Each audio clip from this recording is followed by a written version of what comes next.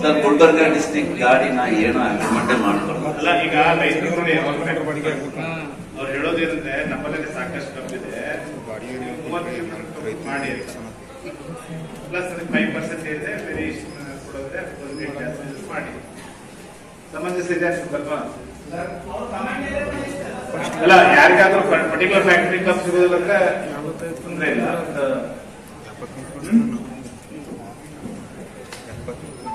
ಹ್ಮ್? ಏನ್ರಿ ನಮ್ಮ ಮುಂಬಾಳವ್ರೆ? ನಾಳೆ ಸರಿ ಇದೆಯಾ ಆಯ್ತು ಈಗ ನೋಡಿ ಲೈಸೆನ್ಸ್ ಬಾಯ್ಸ್ ಅಂತ ಕರೀತಾರೆ ಆ ತರ ಇದೆ ನೀವಿಲ್ಲ ಅಂದ್ರೆ ಅವರಿಲ್ಲ ಅವರಿಲ್ಲ ಅಂದ್ರೆ ನೀವಿಲ್ಲ ಅದಕ್ಕೆ ನೀವು ಆದ್- ಆದಷ್ಟು ಮಟ್ಟಿಗೆ ಅಲ್ಲೇ ತಗೋಬೇಕು ಸುಮ್ಮನೆ ನೂರು